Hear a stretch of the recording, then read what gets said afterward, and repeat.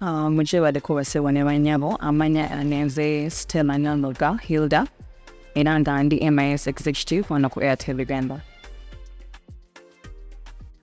I think the ambience, the people here are really receptive. Some good reception right from the time you enter Airtel, the Airtel building. Everyone is really happy to receive you. Yeah. I use the Chillax bundle, the 10 GB. That's what I use. Yeah, I need. So I do, I do bedding, and I really love interior designing. Yeah, that's my passion. I really love it. Zero. Reason to imagine.